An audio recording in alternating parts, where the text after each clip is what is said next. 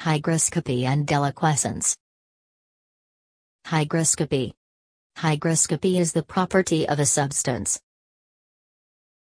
Substance which absorbs the moisture without any change in their physical state at room temperature. Hygroscopic substance is mostly used as a drying agent. Some of the most common hygroscopic substances are silica gel, quicklime, phosphorus pentoxide, concentrate sulfuric acid, sodium chloride, anhydrous calcium chloride. Deliquescence The substance which absorbs water from the atmosphere and gets dissolved completely at normal temperature is called as deliquescence substance. It is more hygroscopic in nature.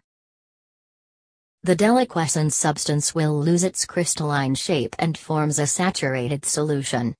The deliquescence is found to be maximum at the conditions of low temperature and humid atmosphere.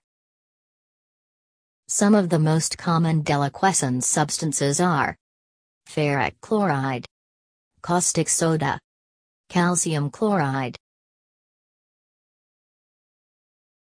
Let we take a ferric chloride in a glass plate. If we allow it for some time, it absorbs the water from atmosphere and becomes ferric chloride solution.